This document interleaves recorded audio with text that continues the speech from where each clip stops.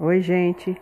Hoje eu vou ensinar para vocês a fazer um cuscuz com coco. Vocês vão precisar de uma milharina, um coco seco inteiro, uma xícara de açúcar. Essas três coisinhas, né, que são super baratinhas no mercado, vocês vão precisar. É super fácil fazer esse cuscuz e é muito bom. Muito gostoso. Aqui em casa todo mundo gosta.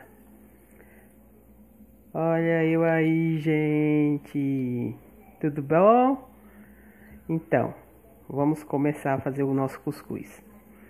Vocês pegam um liquidificador, né? Bate e colocam, batem um pouco, né? Aí meus filhos têm um pinho, né? Aí você bate um pouco, aí vocês colocam meio pacote dessa harina, que dá um bem grande meio pacote, com a cuscuzeira pina. E mistura tudo, bate o coco, né? Bate. Mistura bem. Mistura bem. Põe um pouco de água, só para ela dar uma amolecidinha a mais. Depois vocês colocam nessa cuscuzeira aqui, ó. É bem baratinho, qualquer loja que vende panela, essas coisas, é bem baratinho, né? Vocês colocam em fogo médio, não fogo nem alto e nem baixo demais, para ele ficar bem cozido.